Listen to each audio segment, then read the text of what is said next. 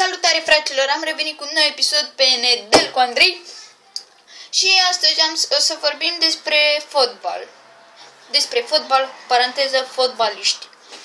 De exemplu, și eu fac fotbal și mai am o grămadă de colegi în clasă, de fapt nu mai am o grămadă, decât unul mai face, dar nu contează, mai face fotbal uh, și mi se pare un sport frumos, dar uh, pe de altă parte și greu deoarece nu e foarte ușor să ajungi la un uh, nivel de performanță.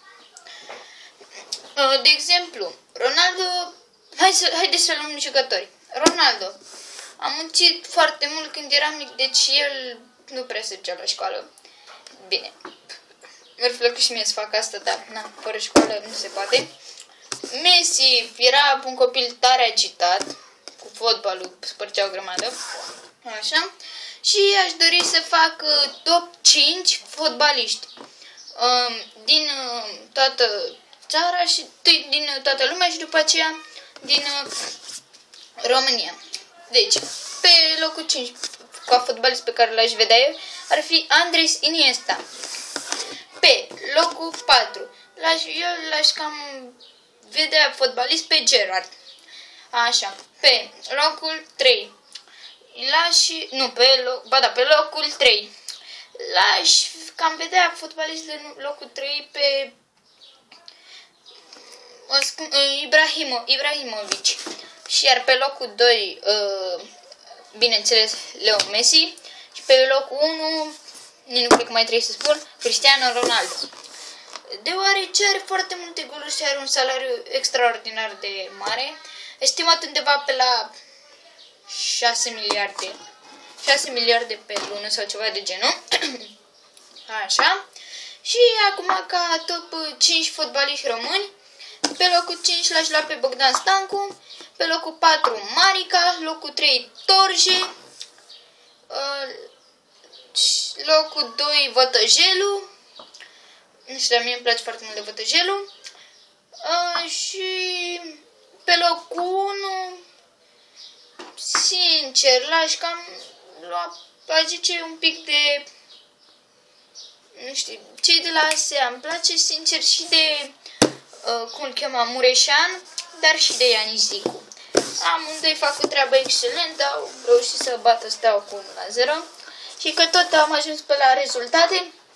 Uh, sincer, nu mă așteptam ca seară uh, steaua, uh, steaua, bara, steaua cu Concordia Chiajna să facă 2 la 2. Astăzi este, uh, de fapt acum este o confruntare între cei de la Astra Giurgiu și Oțelul, momentan e 1-1. Și părerea mea că o să bată Astra Giurgiu. Dar în legă, uh, să revenim la meciul cu Concordia Chiajna Steaua, mi s-a păr... Bine, eu nu țin cu Steaua niciodată și adică nu o suport. Dar mi se pare că au fost un pic furați. De exemplu, Acolo la primul gol când l-am dat uh, chiar n-a fost uh, hand și a făcut uh, Toșca care a luat cu pieptul, dar n-am ce să faci dacă arbitru știe ceva, așa e. Și când a făcut, a făcut cei de la Concordia Chiașna un penalti, a fost și n-a fost penalti. Adică, din spate se vedea fi penalti, dar din față, adică, de exemplu, arbitru de rez, cel care se uită, se uită dacă e, intră mingea în port, adică cel care stă pe linie cu partea, ar fi trebuit să zică că nu e. Mie, sincer, nu prea mi s-a părut a fi un penalti. Dar, na, așa au deschis steliștii scor, după ce au marcat cei de la Concordia Chiaj, n-au mai marcat încă o dată și după aceea astea. Iancu a avut o execuție senzațională, n-am avut ce să spun. Mm, perfect a fost. Fenomenal. Și da, ce vreau să zic eu, că fotbal românesc se menține momentan nu prea, hm, nu prea arată foarte bine. Mi se pare să, oricum, pe primul loc e ASEA Târgu Mureș, pe locul 2 e Steaua București, locul 4, pet, nu, locul 3 Petrolul, locul 4 mi se pare că Astra Giurgiu, locul 5 este Universitatea Craiova și locul 6 parcă Botoșani. Așa. În fine, nu contează. Acesta a fost videoclipul de astăzi. Să nu uitați să dați like, share, să faceți cât mai multe comentarii, să vă abonați la canalul meu de YouTube. La revedere, fraților!